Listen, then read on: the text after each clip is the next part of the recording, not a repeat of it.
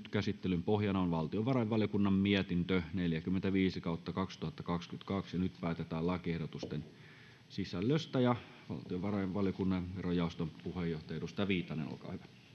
Arvoisa puhemies! Kysymyksessä on hallituksen esitys automaattista päätöksentekoa verotus- ja tulliasioissa koskevasta laista. Tämä ehdotus sisältää säännöksiä koskien automaattista päätöksentekoa sekä eräitä muita säännösehdotuksia. Ehdotetuilla muutoksilla poikettaisiin eräiltä osin hallintolakiin ehdotetusta automaattista päätöksentekoa julkisessa hallinnossa koskevasta yleissääntelystä verotus- ja tulliasioissa. Ehdotetut muutokset mahdollistaisivat Verohallinnon automaattisen päätöksenteon oikaisuvaatimusten käsittelyssä tietyissä tilanteissa ja eräissä muissa asioissa, joissa se ei olisi sallittua hallintolakiin ehdotetun säätelyn mukaan. Tullin osalta mahdollistuisi oikaisuvaatimusten automaattinen ratkaiseminen tietyissä tilanteissa. Esitys sisältää myös eräitä muita muutoksia. Asiantuntijakuulemisissa pidettiin sinällään tarpeellisena ja kannatettavana sekä perusteltuna tätä esitystä. Huomiota kiinnitettiin kuitenkin ehdotusten suhteeseen EU:n tietosuoja-asetukseen ja eduskunnan käsiteltävänä olevaan automaattista päätöksentekoa koskevaan yleissääntelyyn sekä siihen mahdollisesti eduskuntakäsittelyn aikana tehtäviin muutoksiin. Eduskunnan oikeusasiamies on kiinnittänyt huomiota myös siihen, että ehdotetut muutokset eivät olisi kaikilta osin välttämättömiä ottaen huomioon arviot vaikutuksista Verohallinnon henkilöstöresursseihin.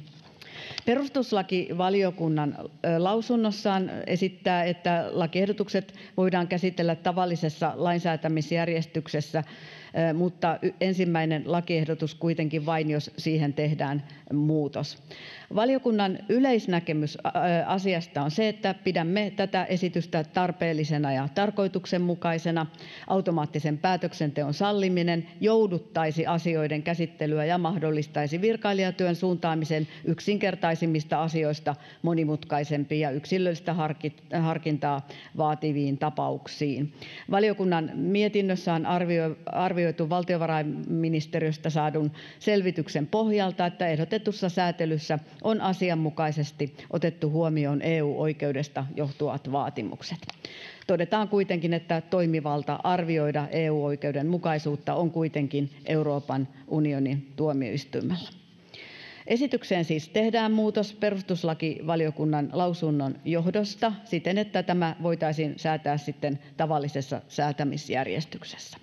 Näissä asiantuntijakuulemisissa esitettiin eräitä yksittäisiä huomioita seuraamusmaksuista, mutta näiden johdosta valiokunta ei ole katsonut tarpeelliseksi muuttaa sääntelyä. Näin ollen, puhemies, ehdotus on, että eduskunta hyväksyy hallituksen esityksen muutettuna tämän mietinnön mukaisesti. Näin, kiitokset. Yleiskeskustelu on päättynyt. Eduskunta hyväksyy hallituksen esitykseen 202